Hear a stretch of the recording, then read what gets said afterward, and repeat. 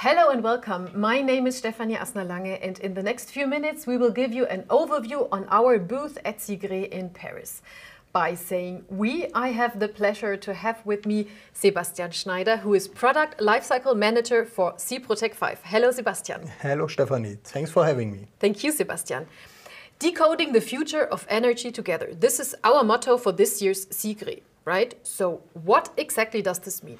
That means the net zero challenge is driving a fundamental change in the energy generation and consumption.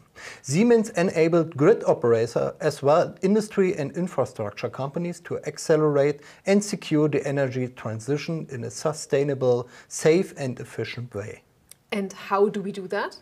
We do that with digital solution that can connect the physical and digital worlds together.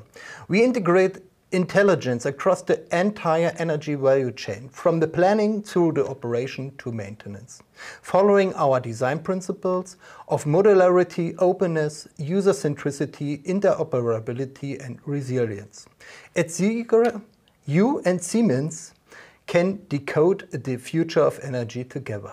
Great. So let's talk about our booth at CIGRE. What highlights can visitors look forward to? Yeah, the following highlights fully digital substation with SIPROTEC 5 process bus solution, the IoT for energy, uh, transparency, increasing efficiency, cybersecurity, resilient in a digitally connected world, rugged communication for electrical power supply system and solutions, Blue GIS, our 100% sustainable gas insulated medium voltage switchgear, Siemens Grid Software, the Advanced Transmission Grid Operation Planning and Operator Assistant, Integrated Energy System Planning, and last but not least, robust transmission planning of renewables with PSSE.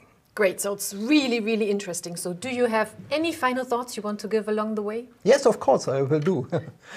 the CIGRE Fair and Conference provides an extraordinary international platform for the power transmission and power distribution sectors. We are looking forward for reconnecting with you at this leading global event, helping decode the future of energy and help realize our energy transition. Thank you, Sebastian. Thank you. And as Sebastian said, we are looking forward meeting you in Paris. See you there.